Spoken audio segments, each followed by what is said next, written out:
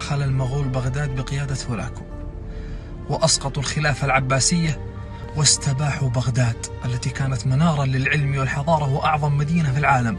فحرقوها ونهبوها ودمروها وجعلوها أثرا بعد عين. فوقف الشاعر الواعظ شمس الدين الكوفي على أطلال بغداد. ورثها بقصيدة معبرة يقول فيها عندي لأجل فراقكم آلام فإلى ما أعذل فيكم وألام.